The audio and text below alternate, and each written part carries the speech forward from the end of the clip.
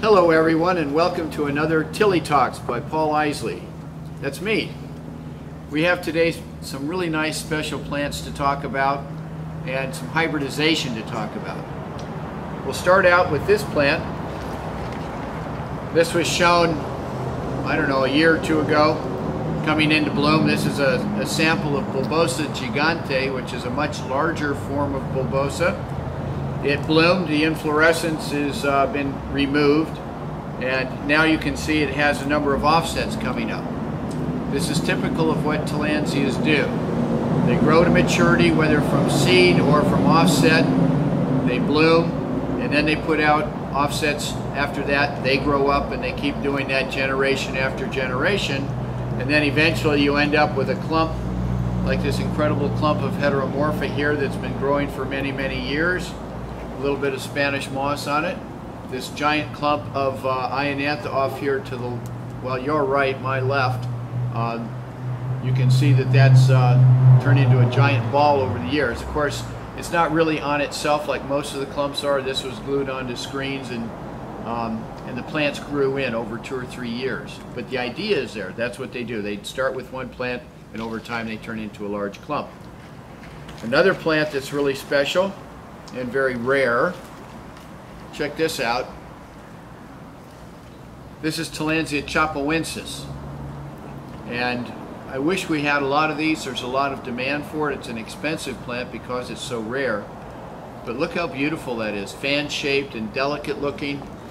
And it, it's hardy, but like Gardneri, which, with which it is allied taxonomically, it doesn't like real cold weather and it doesn't like to be wet for too long and it doesn't like real dry hot weather for very long either. But medium conditions it thrives and uh, this one chapeuensis grows to be very large. About the size of a basketball.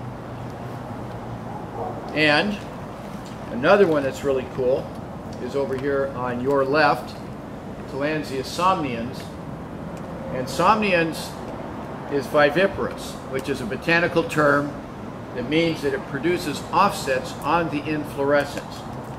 So you have the original, let me see if I can get this guy off of here and get him up in the air a little bit more. But the original plant that produced this plant is gone. The mother plant is gone. You can see it says Tillandsia somnians here. So this was the first offset, and it grew and it is now itself producing a very tall, thin inflorescence that you can see here, and it will be producing offsets on that inflorescence shortly. Meanwhile, on the original inflorescence, you can see this one grew up, this one's growing up, this one's growing up, and now this one also is going to flower and send up a tall flower spike. So Tillandsia somnians is very special not super expensive. Uh, we sell offsets. This is an offset here of Tillandsia somnians, and this is typical for the size that, uh, that we have. Beautiful plant, purple soft leaves. It's a mesic species, which means it's a more wet growing or a more moist growing species, so you don't want to grow this one outside of Tucson outside. Um, it likes a more humid environment, a little bit on the cooler side, but it's still, like all Tillandsias, it will take a broad range of conditions and almost anything for a short period of time. But if you have medium conditions, medium light, medium humidity and all that, this one uh, does really, really well. Now, I'm going to show you three hybrids that all have Tillandsia rothii in them, just to give you an idea of the variation that you can have with Tillandsia rothii. This one is called Tillandsia Avatar Nuevo, and this one is, uh, at least it's, I forget which one comes first. Let me think for one second here, because I've also got this guy, which is Awesome Amber. This is Rothii by Concolor, I think. it's so hard to remember all these hybrids. And this one's Jalisco Monticola with Rothii. So you can see there's a similarity, but they are different. And then another one is Tillandsia Best in Class. And best in class is Xerographica in Rothii. And this one's blooming on the small side. Many of these will get to be very large, even well over two feet, two and a half feet in diameter. But when you grow the plants like this, uh, and you have a seed badge that comes up, eventually some of them will start blooming. Most of them won't. Those that don't will grow for another year, and then some of those will bloom. And probably most of them won't. And then they go for another year. And so those that go for several years and don't bloom, of course, will be larger when they do bloom. So for collectors, there's a positive either way you look at it. If it blooms, it's gorgeous, it turns lots of color, and that's wonderful, so yay. But if it doesn't bloom, it'll grow for a whole nother year and get bigger, which a lot of people like as well. So either way, you kind of win. So this is uh, uh, best in class is Xerographica by Rothii, like I said. The reverse of this, which is Rothii by Xerographica, is called upper class. I don't have one here in front of me or blooming right now, but you have best in class, which has the Xerographica as the seed parent, as the mother plant. You have upper class that has Rothii as the seed parent, as the mother plant. So there you go. Um, I'd shown you a little bit earlier this wonderful clump of Tillandsia heteromorpha.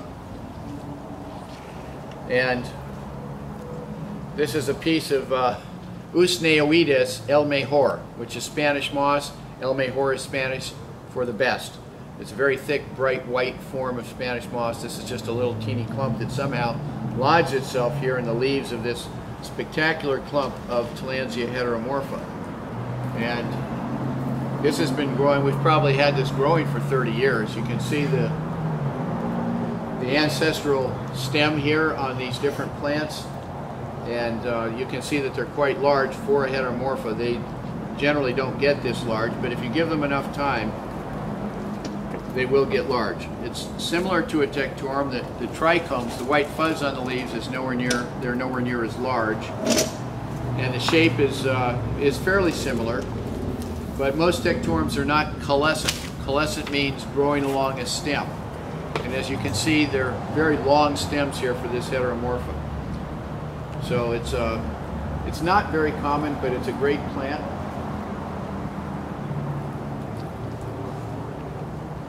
And, oh, let me talk about for a second about the, uh, the new genus Tillandsia booklet. Um, I could be a little bit pejorative and say for those of you who read, but I know everybody reads, right? This is a great little booklet for learning about the plants and learning about how they grow, why they grow, where they are, how you use them, how to mount them, how to take care of them indoors, how to take care of them outdoors. Uh, it's, it's a great, inexpensive way to become much more familiar with these air plants that everybody loves so much. Then, of course, I'll put him in here. There's the big book. I think I've shown this a few times for people who really want to learn a lot about Tillandsia, I think this is the best way to do it. This one um, is over 300 pages. I can open it up. Well, it just happened to open up to Tillandsia xerographica. So here's the format for most of the species. It has the name, who described it in what year, Rohweder in 1953, how to pronounce the name, xerographica, xerographica, the subgenus it's in, which is Tillandsia. There are about seven different subgenera, six or seven different subgenera of Tillandsia. And then the etymology of the word, where the name comes from. Xerographic is a combination of the Greek adjective uh, xeros, which means dry, and the noun graphikos, which means painting. The epithet, the name, is a reference to the inflorescence that appears as if colored with pastel chalks. So each species has has its own uh, introduction like that. And then it talks about the plants, where they come from, and how they grow, what the inflorescences are like, and all of that. Uh, some of them have two pages, like latifolia. Most of them have two pages. Latifolia has four pages because there are many varieties of latifolia. This is the Peruvian coastal desert. Uh, you can see that they're viviparous. This form has new plants growing out of the flower spike. That's pretty cool. Um, course, I open it up to xerographic again. Reichenbachia is another one. This one has fragrant flowers. It was named in 1889 by J.G. Baker. So anyway, it's a great way to learn about the plants. And then there are many, many pages with the uh, the hybrids and the different uh, other tillandsias that are that are here in the book. And then there's some pages with photographs of Neoregelias and Cryptanthus, different genera. And then this is a chapter on botanical nomenclature and pronunciation if you're interested in how to say the names of the plants. How about that? And the uh, botanical uh, taxonomy of the plants. How are they related to each other? How do tillandsias fit into the bromeliad family? How does the bromeliad family fit into the plant kingdom? So it talks about all that, and it talks about hybridization, and what grexes are, and what F1s and F2s and cultivars. Here's the pronunciation guide, so how to pronounce the plants. So anyway, there's all this stuff. And then the last chapter in this book is the evolution and biology of the plants. And that, that took a year to do that. That wasn't so easy. There's a picture at the nursery here. But this explains, of all the plants on Earth, how do tillandsias grow without any dirt? How does that happen? And also, of all the plants on Earth, they vary in shape, color, and size from species to species more than any other plant. How does that happen? So that's what this chapter at the end here uh, talks about and answers, besides having pictures. And then at the uh, very end here, he talked about the trichomes, the white fuzz on the leaves, the specialized use that tillandsias have evolved for those, for those little appendages that uh, are so attractive for people. And then there's a color chart so that when you get a color for one of the flowers or something, you know what that color actually looks like. And then there's a glossary for all the botanical terms so that you can see what what words mean. You know, it's when you talk about plants, you would expect that there is some there is some jargon, some terminology for the plants. Uh, you, know, nobody learns about medicine without learning medical words, right? Or law without law words, accounting without accounting words, engineering without engineering words. So with the plants, there are also words. Fortunately, there's a glossary so you can see what the words mean pretty soon you can become an expert. How about that? Okay, so that's enough of that. And our website is rainforestflora.com. Uh, we're on Instagram. There's a lot of great stuff on Instagram. If you'd like to follow us, we'd love to have you follow us. And uh, that's it for today. Thank you very much. We'll see you next time. Bye-bye.